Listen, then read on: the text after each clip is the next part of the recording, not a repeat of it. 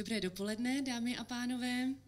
Eh, zástupci a zástupkyně médií, nevládních organizací, eh, jednotlivci, zástupci státních orgánů, partneři a kolegové, kolegyně. Eh, děkuji za zájem o tiskovou konferenci týkající se procesu očkodňování obětí nedobrovolné sterilizace. Nejprve mi dovolte představit dnešní panelistky. Bude to Sandra Pašková, právnička Ligy lidských práv, Elena Gorolová, dlouholetá aktivistka eh, v boji za práva žen nedobrovolně sterilizovaných za organizaci Romodrom. Jana Řepová, právnička a psycholožka Ligy lidských práv. A Gwendolyn Albert, lidskoprávní aktivistka, překladatelka za organizaci Romea. Děkujeme také velmi britské ambasádě za podporu a úvodní slovo pronese britský velvyslanec pan Matt Field.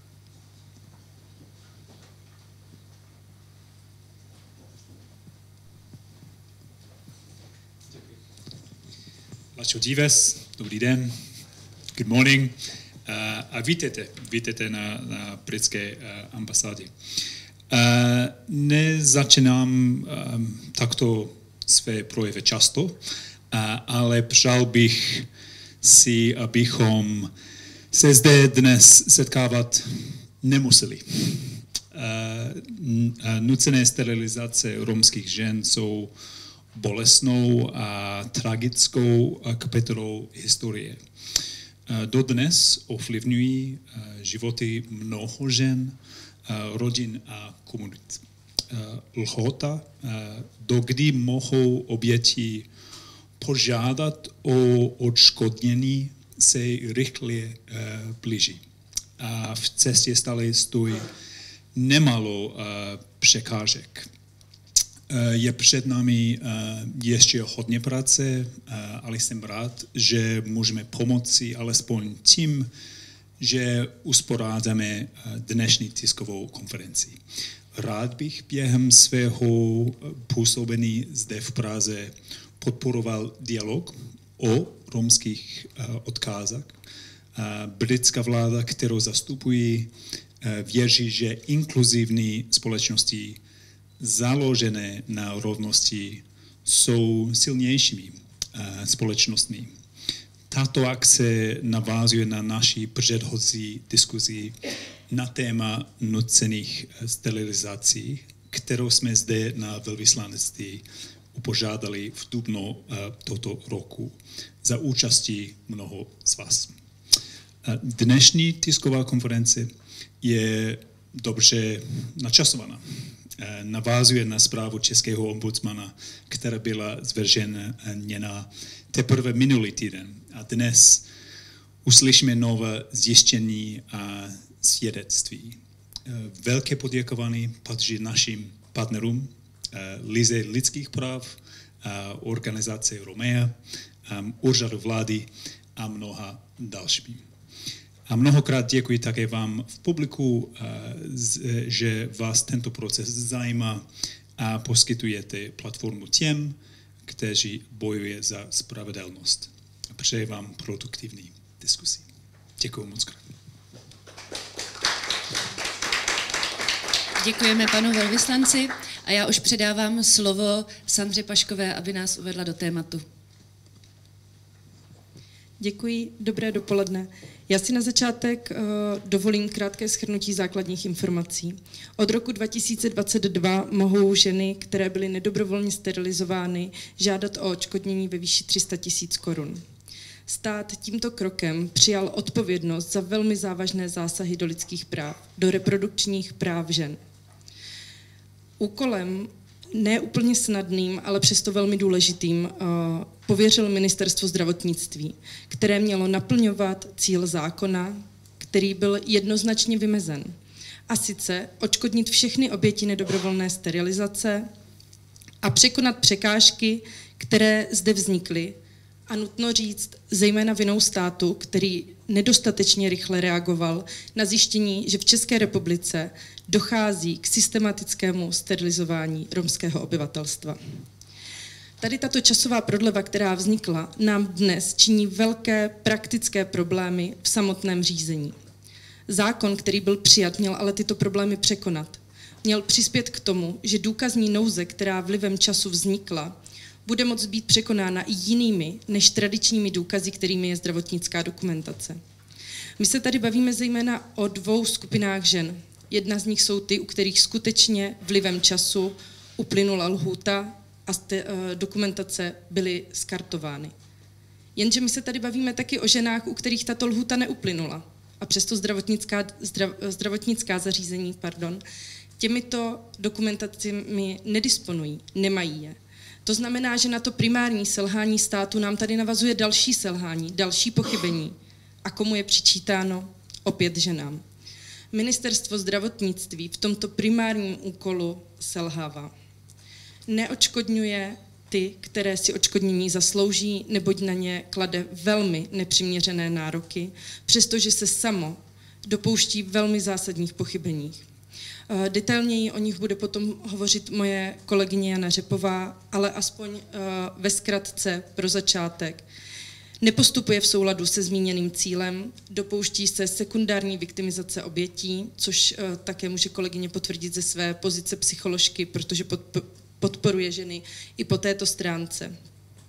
Kritika ministerstva je tady od samotného počátku, ať už ze strany nevládních organizací, ale i veřejného ochránce práv, který tomu věnoval mnoho času, mnoho upozornění ministerstvu, ale nic z toho nestačilo a proto byl nucen sáhnout k velmi zásadnímu opatření a sice udělit sankci a vládě, jakožto nadřízenému orgánu ministerstva zdravotnictví, uh, sdělit závažnost pochybení a zejména neochotu ministerstva zdravotnictví řešit tato pochybení a dokonce komunikovat s ombudsmanem o těchto případech. Kromě toho tady máme jedno z mého pohledu velmi zásadní potvrzení nedostatku eh, na straně ministerstva. Tím je úspěšnost žadatelek, které nevzdali svoji cestu za očkodněním ve chvíli, kdy neuspěli u ministerstva, ale rozhodli se jít dál, pokračovat k soudu. V současné chvíli je úspěšnost těchto žadatelek 89 Ministerstvo se v několika případech rozhodlo proti pozitivnímu eh, rozhodnutí soudu ve prospěch žadatelek bránit a jít dál k soudu vyššího stupně. Tady je úspěšnost dokonce stoprocentní na straně žadatelek. To jsou, myslím, nemalé důkazy o tom, že ministerstvo skutečně selhává a mělo by v posledních třech měsících zásadně změnit svoji rozhodovací praxi. A ráda bych také apelovala na ministerstvo, aby všechny žádosti, u kterých to je možné, rozhodlo v zákonné lhůtě. Tento typ řízení totiž umožňuje v případě neúspěchu, aby žadatelka tu žádost podala znova.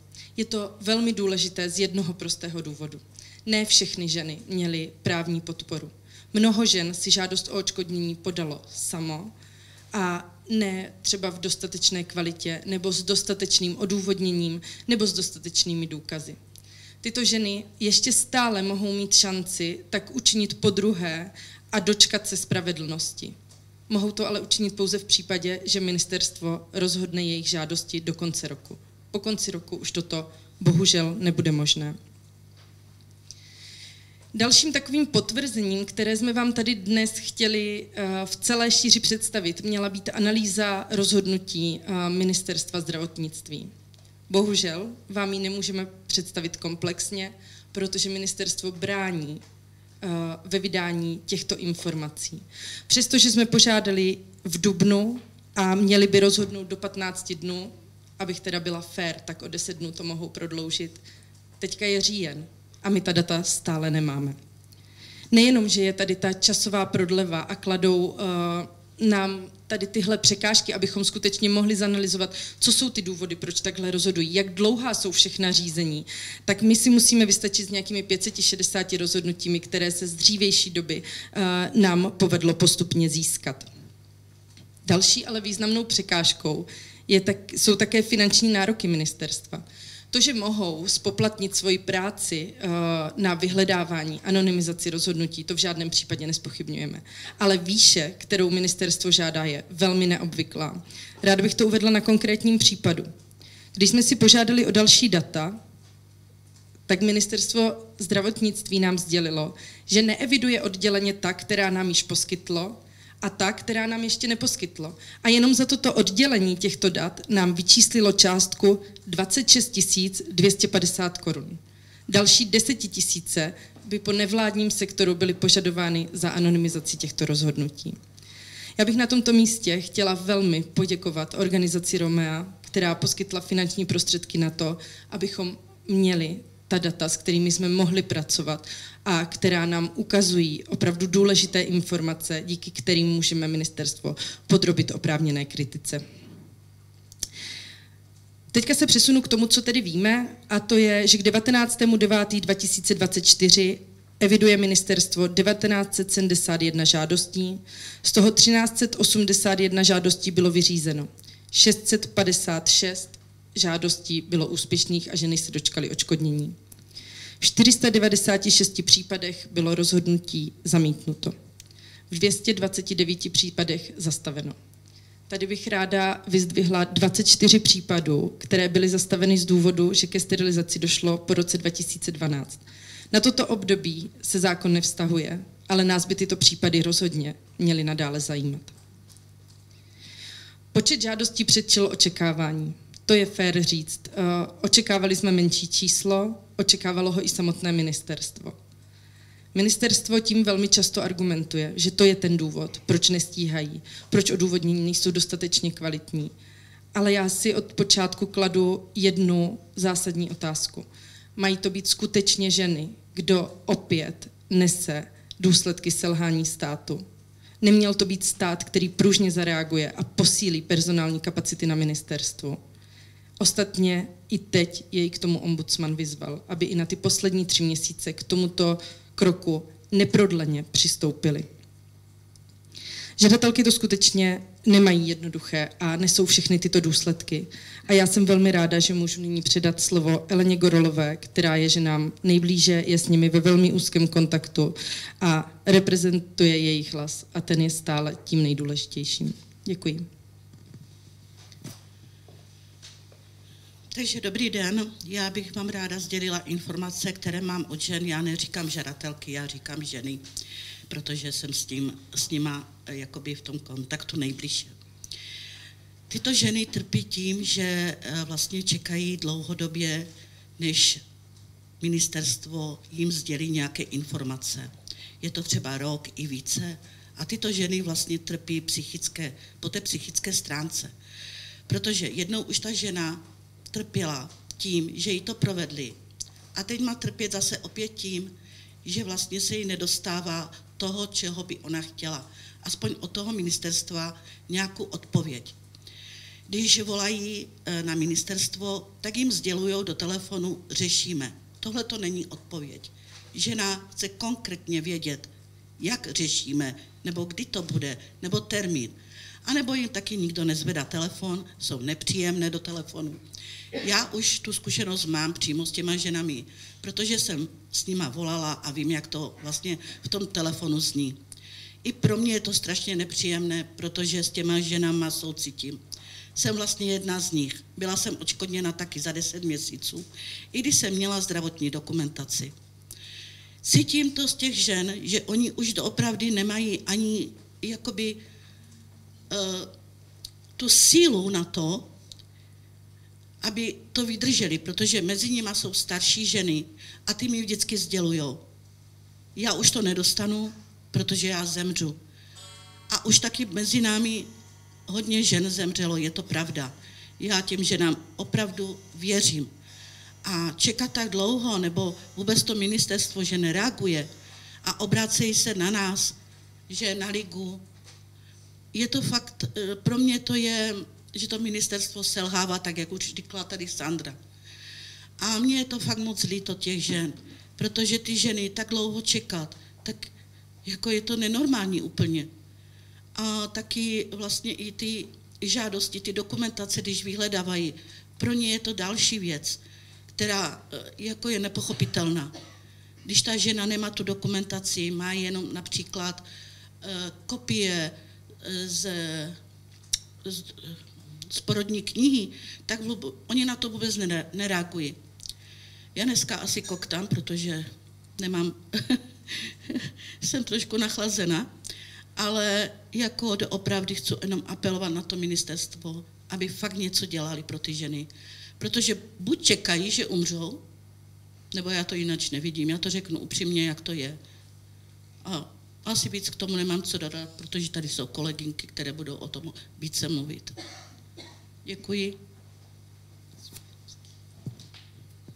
Děkuji moc za slovo. Já bych chtěla teďka vyzvihnout nějaké konkrétní příběhy, jak už jsme o tom teďka mluvili.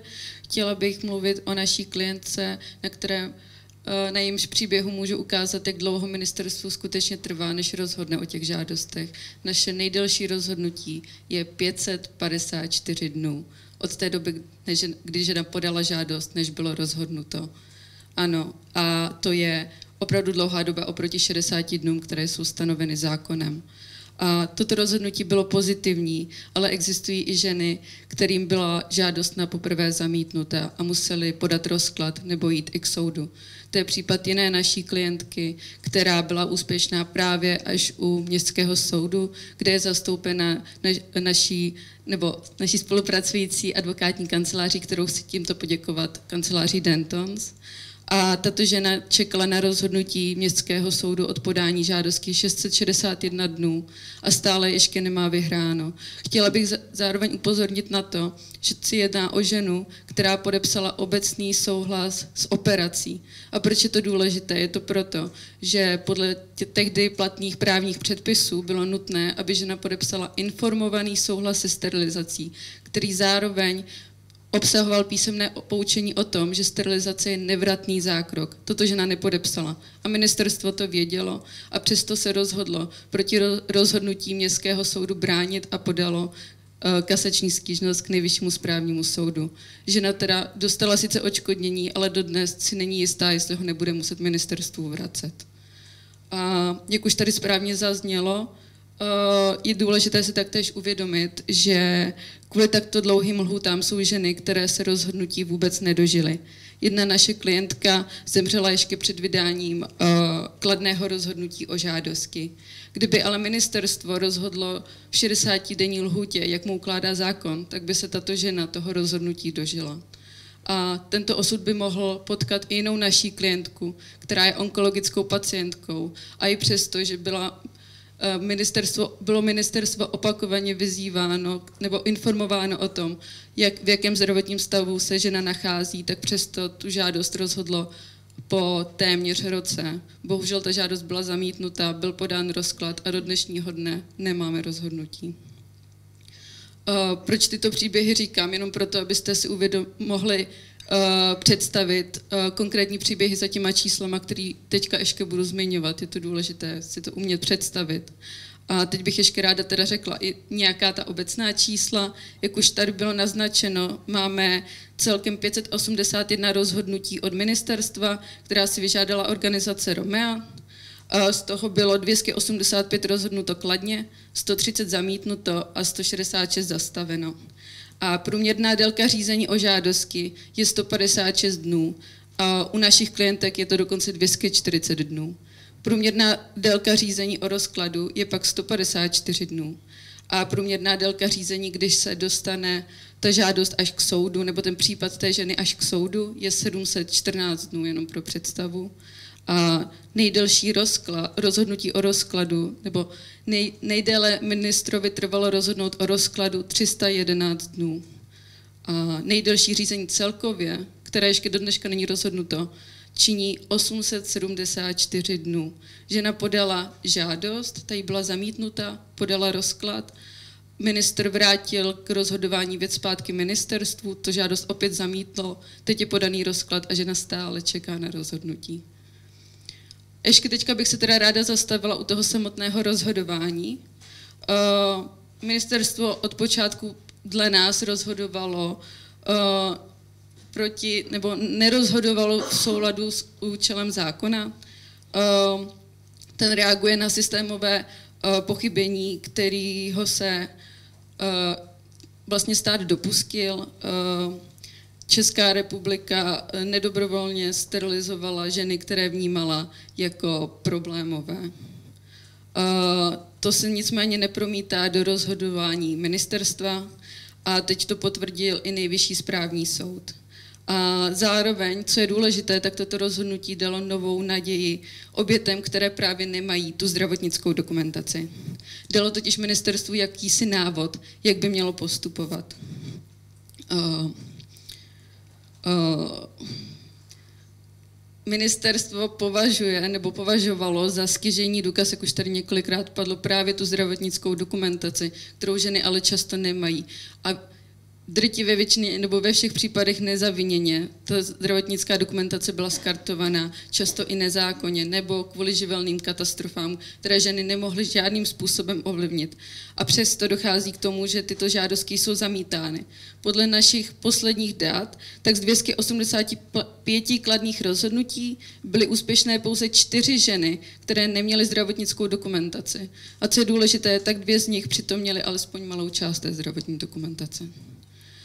Ministerstvo zejména neuznává svědecké výpovědi svědků, kteří nebyli přímo přítomni eh, v nemocnici se ženami, které ne, kteří nebyli přítomni při tom, když žena podepisovala dokumenty, když byla poučena, nebo, ne, nebo uh, na operačním sále s ní nebyli. Ale je důležité si uvědomit, že v té době nebylo běžné, aby partneři byli se svými ženami přítomni v nemocnici, aby byli přítomni u porodu. A proto je pro ženy obtížné tyto svědky získat. Ale i přesto jsou ty svědci důležití, protože můžou prokázat, uh, jak se žena cítila, když se dozvěděla, co to ta sterilizace znamená, co jí skutečně bylo provedeno. Můžou popsat, jak se jejich rodinný eh, život uh, vyvíjel dál. Často se ty lidé hádali, rozváděli kvůli tomu, protože to bylo pro ty rodiny opravdu náročné. Pro rodiny je, důlež, nebo je pro ně důležitá hodnota mít ten rodinný život. A proto je důležité, aby tyto svědci přijímáni byly, ale bohužel se to, bohužel se to neděje.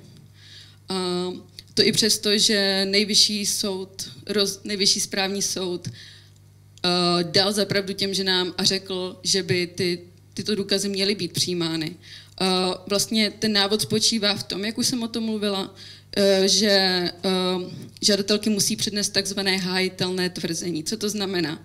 To znamená, že žadatelka poskytne ministerstvu takové indicie, které ve svém souhrnu nepřipouští jiné racionální vysvětlení, než že sterilizace provedená na žadatelce byla nedobrovolná a tím pádem protiprávní.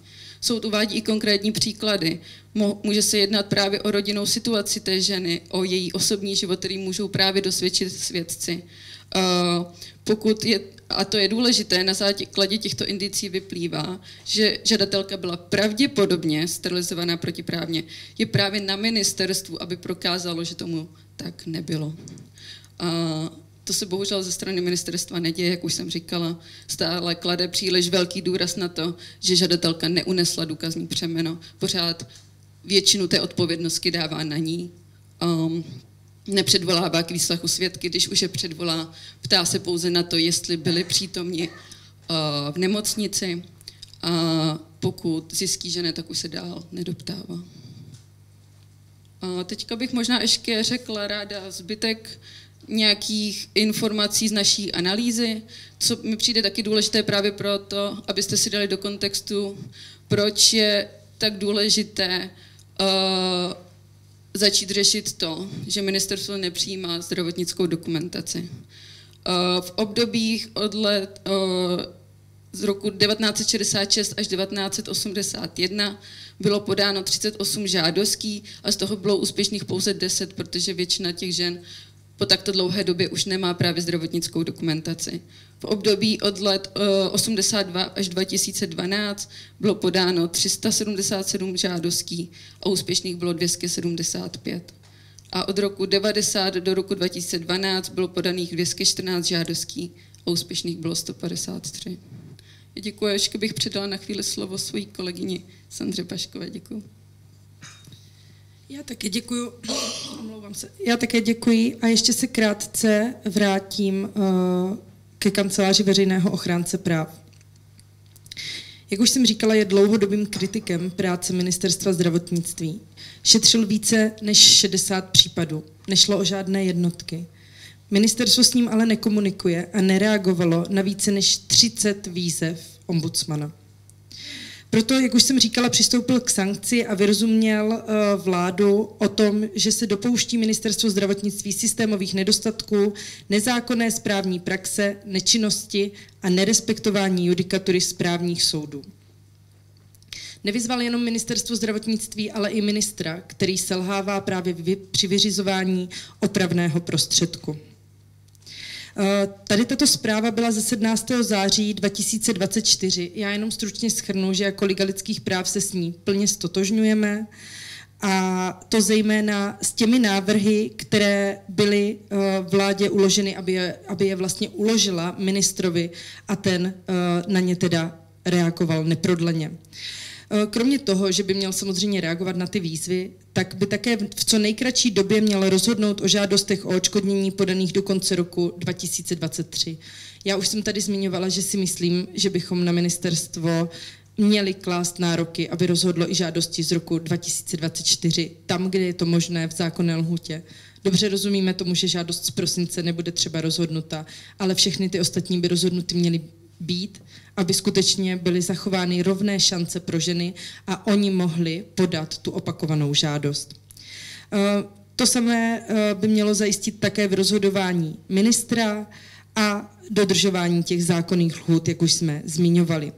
Velmi důležitým uh, doporučením vlastně ombudsmana je, aby se začalo ministerstvo skutečně řídit judikaturou Městského soudu v Praze a Nejvyššího správního soudu. Tady bych jenom ráda řekla, že městský soud dokonce přistoupil i k tomu, že výslovně upozornil ministra na to, že ignoruje jeho předchozí závěry a stále rozhoduje v rozporu s jeho judikaturou.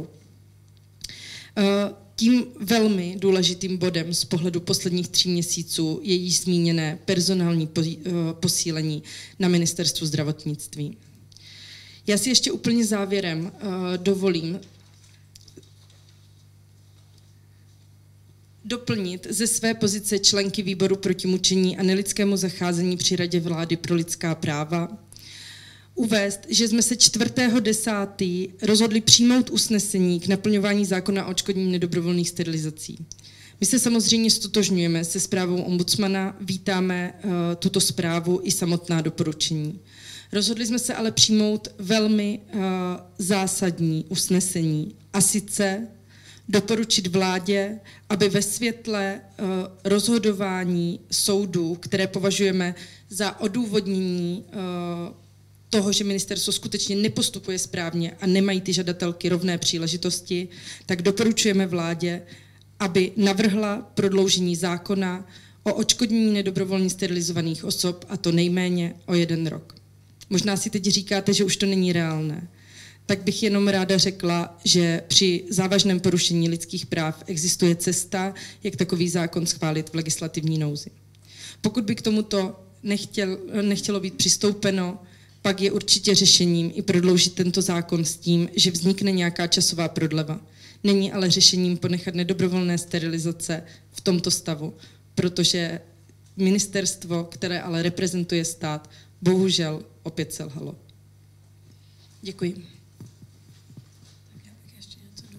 Dobrý den, já jsem Gwendolyn Albert, já jsem členka Rady vlády pro záležitosti romské menšiny. Já bych chtěla jenom upozornit, že my jsme hned upozornili v prosince 2022 vládu na to, že se to děje, že se ty prodlehy dělají a taky, že prostě ty starší žadatelky, ty, které opravdu prostě trpěli nejvíce a nejdéle, jsou znevýhodnění opravdu v tomto procesu, eh, co se týče prostě ta potřeba mít původní zdravotnické dokumentace eh, v archivech někde. Já bych opravdu vyzvala na vládu, eh, včetně ministerstvo finance, aby pomohl ministerstvo zdravotnictví dostat to, co potřebuje, aby mohl v mezi zákoně opravdu prostě rozhodovat do 60 dnů veškeré ty prostě žádosti, které přijdou a taky souhlasím, že by to bylo skvělé, kdyby ten zákon byl prodloužen, protože určitě všichni nestíháme. My máme teď od, od července opravdu štědrou pomoc od úřadu vlády jako neziskový sektor, že můžeme prostě pomáhat ženy nebo i, i muži, byli i pár muži, prostě žádat, ale ten proces je až natolik prostě složitý, že to opravdu v tomhle tom procesu, jak to probíhá, není efektivní nápravu. To opravdu není to, co legislativci mysleli, když schválili tento zákon a to není to, co si myslím, že skoro žádný z nás si představovali, že odškodňovací proces prostě bude. Takže ještě jednou opravdu apeluji na vládu, aby vyslyšeli prostě věženého ochránce práv i neziskového sektoru a jednali. Děkuji.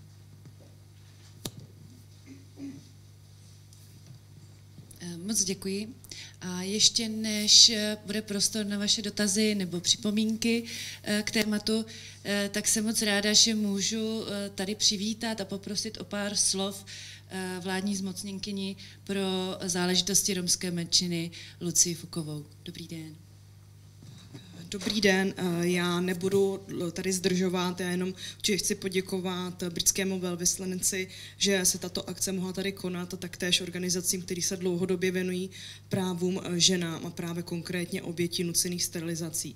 Já ze své pozice vládní zmocněnkyně mohu říct, jak jsem do tohoto procesu vstupovala. Samozřejmě jsem do toho procesu vstupovala tím, že většina těch obětí je romského původu a samotné ty žadatelky a ty oběti se na mě dlouhodobě obracely eh, v souvislosti vlastně s problémy s komunikací s ministerstvem zdravotnictví.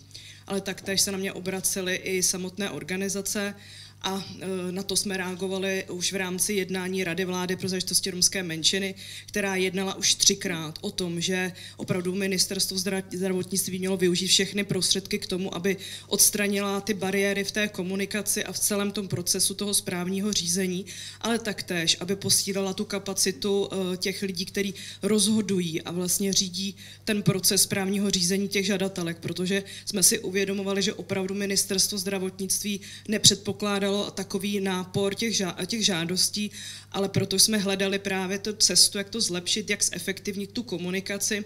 A několikrát jsem se setkala i pane, s panem Válkem, vlastně se zástupci neziskových organizací, taktéž s členkou Rady vlády pro záležitosti romské menšiny s Gwendolyn Albert, kde jsme hledali vlastně jako cestu, ale vlastně jsme cítili i pochopení, že opravdu je to náročné a proto eh, jsme si říkali, že poskytneme i informační linku, která by mohla efektivněji fungovat.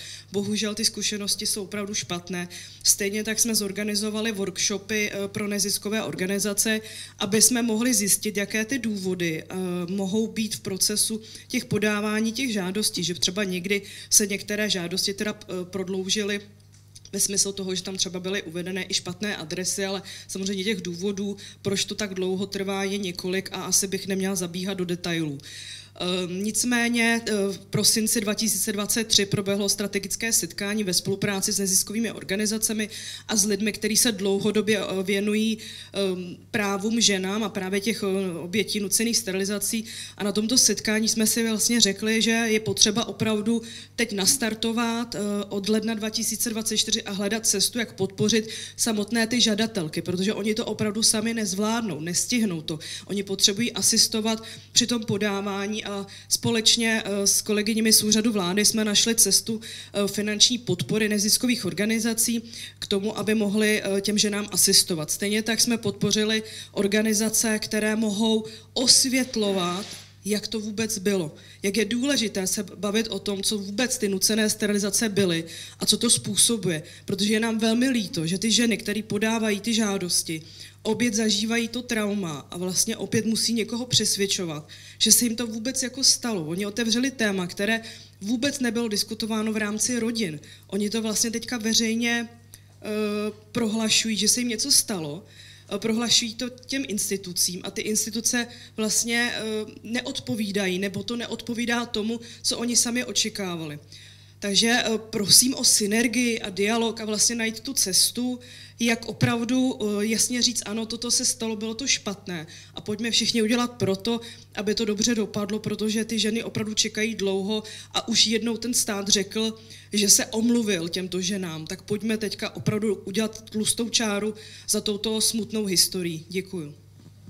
Dobrý den, moje jméno je Zmeškalová Milena, jsem z kanceláře ombudsmana, jsem právníkem, který panu doktorovi pomáhá vyřizovat eh, stížnosti žen, které se na nás obrací.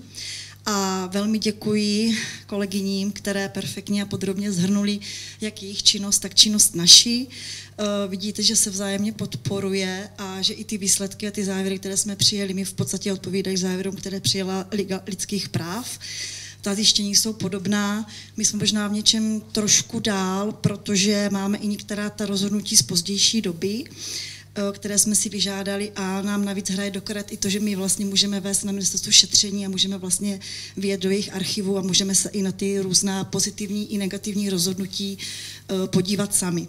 Mám několik malinkatých doplnění. Eh, tím hlavním doplněním je, co tady ještě nezaznělo, že vlastně v podstatě eh, účelem toho zákona bylo očkodnit ženy, ženy, které vlastně byly zoufalé tehdy a jsou zoufalé znovu dnes. A eh, k naplnění nebo k tomu očkodní nemůže dojít jenom tím, že přijmeme zákon a že ty ženy požádají, ale samozřejmě i tím, že ministerstvo bude ten zákon aplikovat podle pravidel a podle svého vlastně nejlepšího vědomí a svědomí. Já jsem viděla jeden z posledních rozhodnutí Nejvyššího správního soudu, to rozhodnutí je perfektní, je z 19.9 a tam vlastně soudce měl krásnou odvahu a vlastně řekl krásnou větu, která by to celé mohla zastřešit. Zvláštní situace si vyžaduje zvláštní postupy. To vlastně znamená, že to celé řízení o té žádosti je zvláštním řízením. I ta samotná žádost není standardní žádosti, je to prostě žádost zvláštní, specifická, která odpovídá i specifičnosti těch jednotlivých nároků. A na ministerstvu tady je kleden velký důraz a vlastně velký tlak na to, aby ono ty ženy podporovalo a pomáhalo jim vlastně to očkodnění dosáhnout.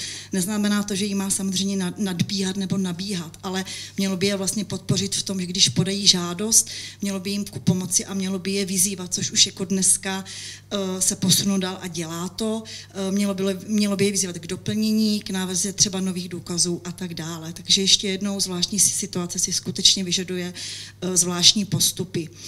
Proč my jsme přistoupili k sankci? No, protože k zoufalým ženám přibyl i zoufalý ombudsman, protože my jsme v podstatě od letošního ledna roku 2024 eh, komunikovali s ministerstvem zdravotnictví a s ministrem zdravotnictví, kterého vyzýváme k různým vyjádřením, eh, k doplnění dokumentace i vlastně ke stanoviskům k našim zprávám a bohužel opravdu od ledna s námi ministerstvo nekomunikuje. Proto jsme v létě vlastně shrnuli ty veškeré případy, došli jsme k číslu 30, v těch všech věcech nemáme odpověď a u nás to parizoluje to naše šetření a postup dál. A jak tady už zaznělo, jestliže skončí účinnost zákona na konci roku 2024, tak ženy, které vlastně nemají ještě rozhodnuto a budou mít rozhodnuto nebo ještě nebudou, tak nestihnou ani třeba podat případně novou žádost. Takže i proto jsme se rozhodli sáhnout k té nejvyšší sankci, přeskočit ta veškerá předchozí kroky, které vlastně zákon podle zákona veřejné nebo které ochránce podle zákona veřejné ochránci má a rovnou vlastně jsme sáhli k sankci a informovali jsme vládu. A k tomu jsme tím pádem připojili i naše zjištění, které se týká toho, ne, ne že nejenom nekomunikuje s námi, ale především nekomunikuje s těmi ženami. A jak tady už zaznělo, já jsem zrovna včera měla telefonát od jedné ženy, která, protože viděla reportáž minulý týden v televizi, televizi, tak se k nám obrátila a tam mluvila o tom, že žádost o očkodnění podala v únoru 2023 takže to daleko předčí těch 360 dnů a tak dále a nemá rozhodnuto má dokumentaci. A jak já už jsem říkala v nějaké reportáži, eh, ženy, které mají dokumentaci, jsou trošku napřed v tom, že z pravidla ta dokumentace není dokonalá, proto i na základě ní vlastně mohou to očkodní získat. Ženy, které dokumentaci nemají, mají opravdu velmi nevýhodnou pozici, ale samozřejmě ne díky své vině, ta vina vůbec není jejich, ale je to prostě vina státu, který dopustil, že k té skartaci došlo, a nebo že v tom zákoně, který se vlastně přijal, možná chybí nějaká právní fikce eh, vzhledem k té zdravotnické dokumentaci. Ale to, ne, to je na nějakou úvahu další. Eh, ještě bych chtěla říct, že vlastně pokud to řízení trvá dlouho, tak ministerstvo si neuvědomuje, že vlastně může být podrobeno dalšímu očkodňovacímu řízení. To znamená, že vlastně ty ženy mohou žádat o vlastně přiměřené zadosti učinění za očkodní za to, že se to jejich správní řízení takhle vlastně dlouho vleklo a už si myslím, že už nějaké žaloby byly podány, i my se na to chystáme ty, ty ženy podpořit, protože takovéhle dlouhé řízení je neúnosné. A to jsou další peníze, které vlastně přibydou ministerstvo zdravotnictví vlastně na jeho budget a na jeho vrub. To je asi všechno. Eh, čísla z kanceláře tady zazněly. Já jsem sama zvědavá, dokdy nám ministerstvo odpoví na ty naše výtky vlastně k těm průtahům v tom řízení. My jsme tam tu zprávu poslali před vlastně koncem září, takže Eh, vláda má v podstatě 30 dnů na to, aby nějakým způsobem zareagovala a odpověděla nám, zda ty naše návrhy k opatření přijme. My jsme se trošku báli navrhnout tamto opatření, vlastně posilit personální stav ministerstva, ale pak jsme řekli vlastně proč ne, protože vlastně na tom, na tom opravdu na těch čtyřech nebo pěti lidech, kteří tam jsou, závisí celé to očkodňovací řízení. Já chápu, je to velmi malý počet. Eh, ty ti právníci mají i naše uznání, protože ta eh, činnost nekončí, ale v tak malém počtu lidí se to skutečně stíhat nedá, ale to není v podstatě jako jejich věc a oni vlastně plní povinnosti, které určitě mají. Děkuji za pozornost. Jak tady zaznělo, eh, znovu apelujeme i na ženy, které vlastně ještě žádost nepodali, anebo si ji vlastně podali, tak aby z procesní opatrností klidně podali znovu do konce roku a tím pádem do toho řízení se vlastně vtáhli znovu. Děkuji za pozvání.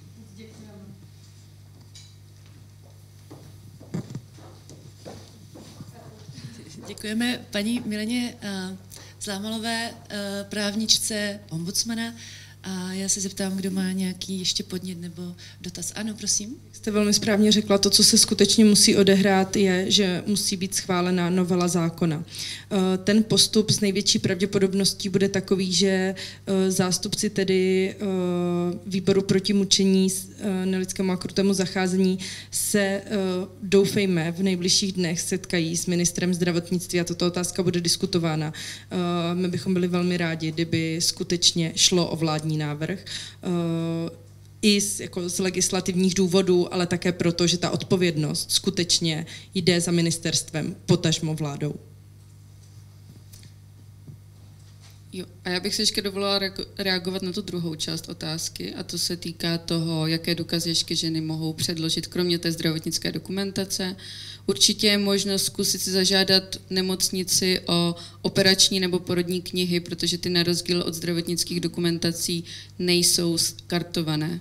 Takže tam může být potvrzení o tom, že ta žena skutečně sterilizovaná byla, případně lékařské zprávy od ošetřujícího ginekologa, ginekoložky, praktického lékaře. Tam by taky mohly být záznam o tom, že žena byla sterilizována.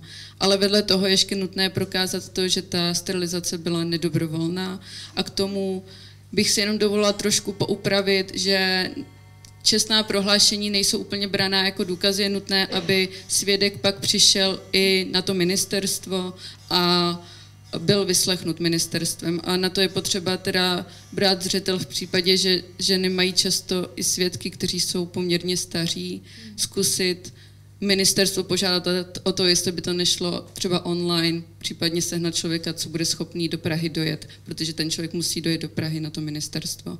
Další možnost, eh, kromě svědeckých výpovědí, je určitě teda doklad o tom, že žena, ženě byla poskytnuta sociální dávka, bohužel tohle je spíše nereálné, protože od té doby uplynula dlouhá doba a většina žen a obětí potažmo si neskladuje tyhle ty doklady. Pak různé deníkové záznamy, pokud ženy mají, že se bavili, že si psali o tom, jak je to trápí.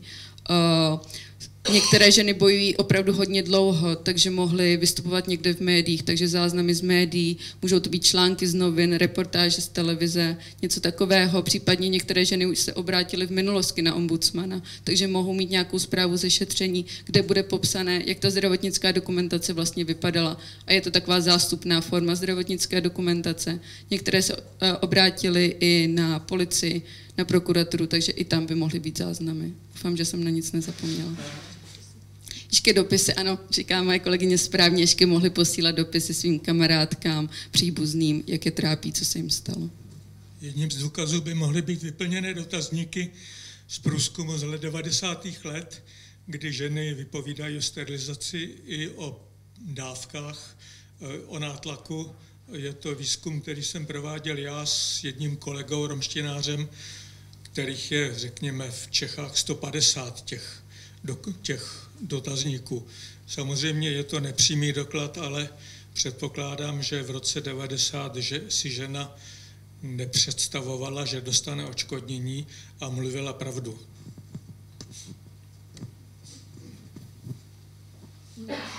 Já bych na to jenom ještě eh, krátce chtěla zareagovat a chtěla bych doplnit, že já jsem tady zmínila tu sekundární viktimizaci, to znamená, že těm ženám je ze strany ministerstva skutečně znovu uh, ubližováno a to zejména tím, když jsou na ně kladeny absurdní požadavky.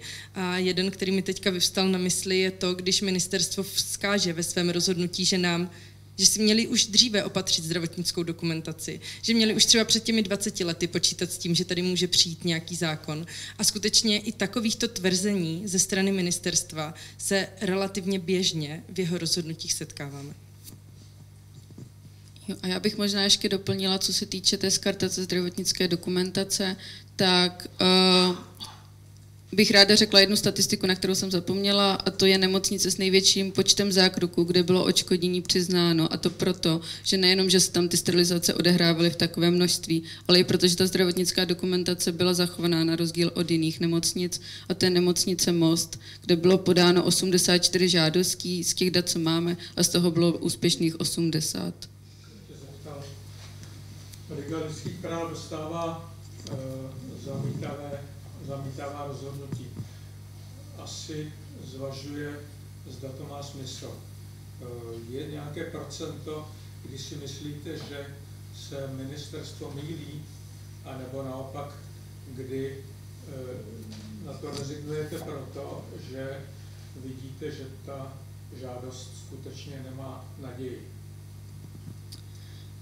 Eh, já teďka nemám úplně přesná data, ale v drtivé většině případů žádostí, které byly neúspěšné, jsme ten rozklad podávali. Jediné, na co je důležité myslet, a nevím, jestli to tady zaznělo výslovně, je to, že ministr potvrzuje rozhodnutí eh, ministerstva zdravotnictví. Takže je velká pravděpodobnost, že v takových případech musí ženy jít pak i k soudu. Já bych možná ještě doplnila, že skutečně ta úspěšnost u toho rozkladu i u žen, u kterých my se domníváme, že ten nárok je oprávněný a pak se nám to třeba potvrdí u toho soudu, tak eh, ta úspěšnost u toho ministra je opravdu velmi malá.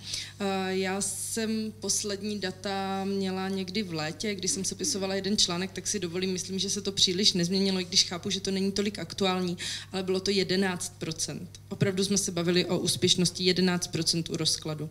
A k té vaší otázce bych jenom eh, doplnila, že pro nás je vždycky jako předním hlediskem ta žena.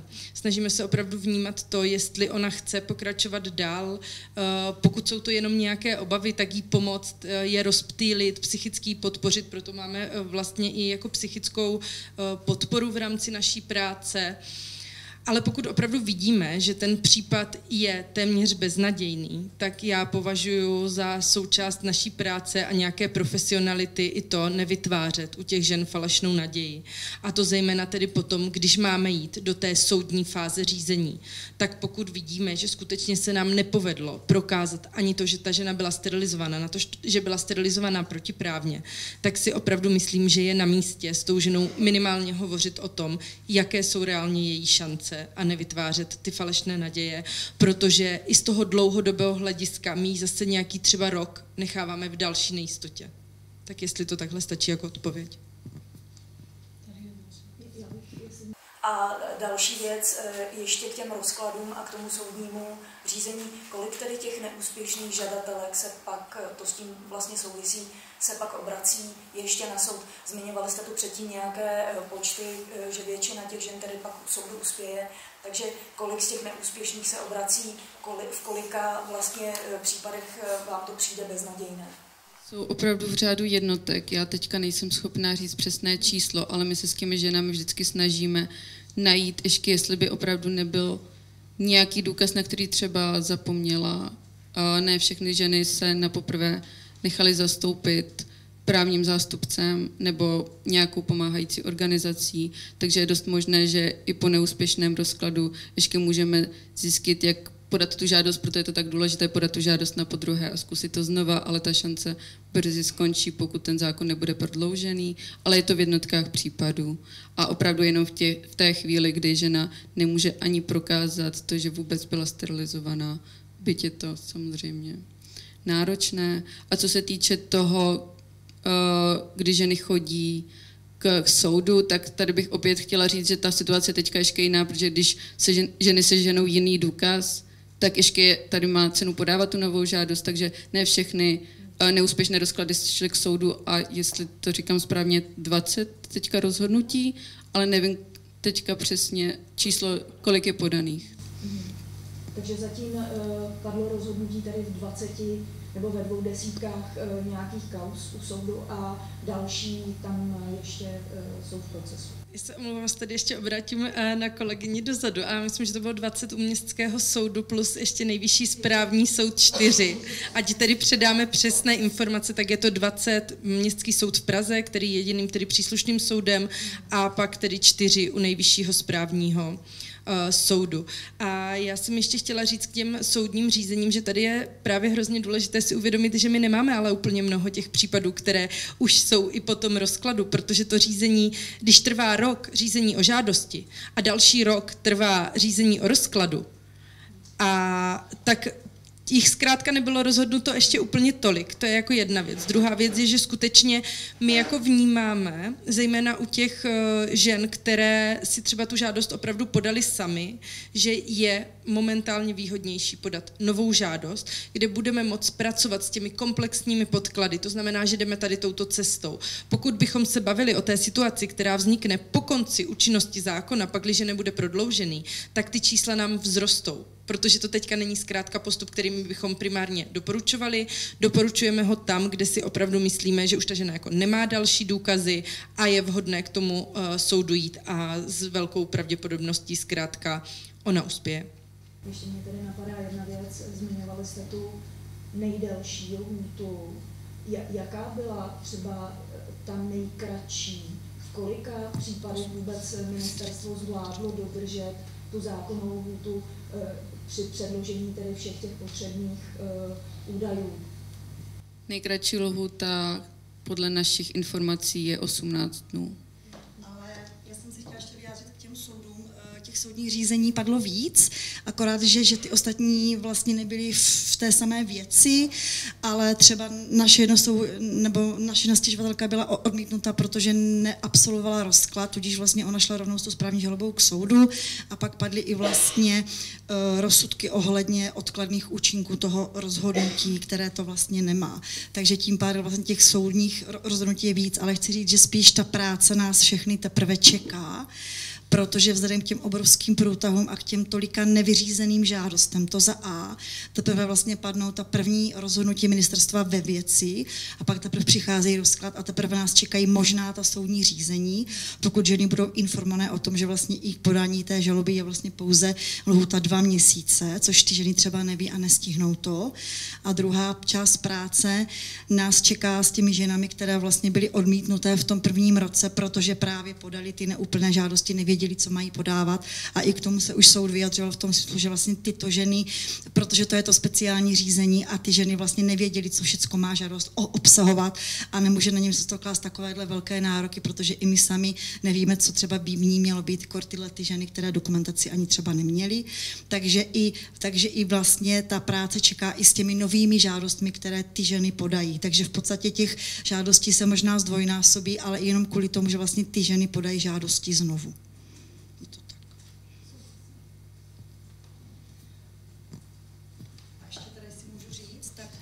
Teda máme, my teda máme jeden případ, který jakoby je takový, že ta žena podle nás nemá naději.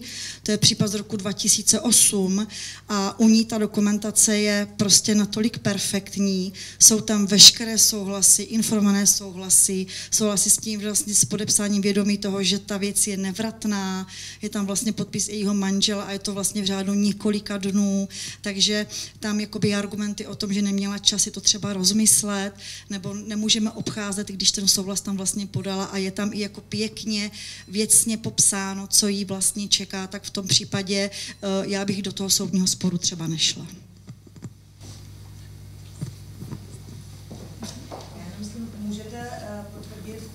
Eh, slyšeli už eh, zase na, na jiné debatě, že má smysl, když třeba žena najít nebo si vzpomene na nějaké jako důkazy nebo prostě nějaké materiály, tak to ještě jakoby přidávat k té žádosti ještě předtím, než vlastně byla ta žádost jako rozhodnutá, když to tak řeknu, že to ještě v procesu ještě nebyla zamítnutá, ale najdou se třeba nějaké teda nové důkazy.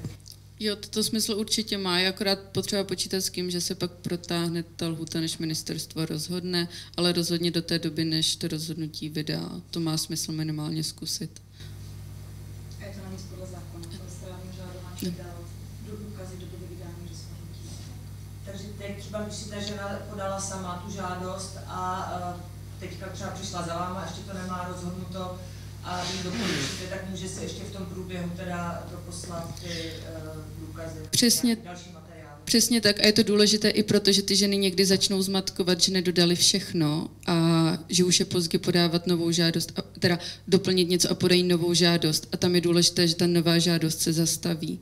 Takže důležité je fakt překládat všechno té původní žádosti a nepodávat novou, taky z tohohle důvodu. A takže teda ideálně, když třeba se tady to uvědomí ta žena, tak se obrátí třeba na vás a vy to pomůžete tam teda Přesně tak, na nás nebo jiné pomáhající organizace jsou na... Ano, a já bych jenom chtěla za organizace Romea poznámit, že my máme web poslední pomlčka sance.cz, kde jsou uvedeny všechny neziskové organizace, které pomáhají ženy právě s takovými otázky žádat vůbec poprvé nebo žádat po druhé nebo prodloužit nebo přidat nové eh, důkazy do probíhající prostě žádosti. Takže eh, poslední pomočka sunset.cz je to tam podle krajích eh, rozdělený. Jsou opravdu spousta organizací, které mohou pomáhat, mají právníky a je to velice, velice důležité, aby ženy konzultovali, pokud existují ty zdravotnické dokumentace, aby konzultovali to s právníkem nebo právničkou, protože to bude to nejsilnější důkaz, který může být. To je, a je to i důležité, aby oni sami rozuměli, co je tam napsáno ohledně toho, co se jim dělo. Jenom ještě doplním, já jsem velmi ráda, že jsme se k tomuto dostali, protože pro mnoho žen je velmi důležité, aby se jednalo o nějakou lokální organizaci, aby ten prvotní kontakt proběhl opravdu jako v jejich místě, aby měli tu podporu tam, kde oni žijí. To, že třeba my nabízíme i těm organizacím případně, aby oni se potom obraceli na nás, když právě v jejich týmu třeba nejsou právníci. Eh, máme třeba skvělou spolupráci tady s Romodromem, eh, nebo spolupracujeme s vzájemným soužitím dalšími organizacemi tak to je určitě velmi užitečné. A já jsem ještě chtěla doplnit jednu důležitou věc. Ono, ten význam jako naší právní práce roste s tím, jak postupujeme v tom řízení. To znamená, že v rozkladu je zase ještě o něco důležitější se skutečně na ty právníky, právničky obrátit, těch soudních řízeních, tam už je to úplně bez debaty. Tím bych chtěla podpořit jak ženy, tak organizace, pokud nemají tady tuto možnost, aby se obrátili ať už na nás, na Český helsinský výbor, nebo jakoukoliv jinou organizaci člověka v tísni a další, kteří jim můžou poskytnout právě tady tu právní podporu v těch navazujících řízeních, v případě, že ta žádost byla zamítnuta. Dobrý den. Já bych se ráda zeptala, jste že jsou známy i případy, kdy vlastně k té nedobrovolné sterilizaci došlo po roce 2012. A jaké jsou šance potenciální na očkodnění tam? Je to třeba vlastně tu potenciálně jako e, novelou zákona, kdyby se jako, nebo uh, jsou ještě jako nějaké jiné možné cesty?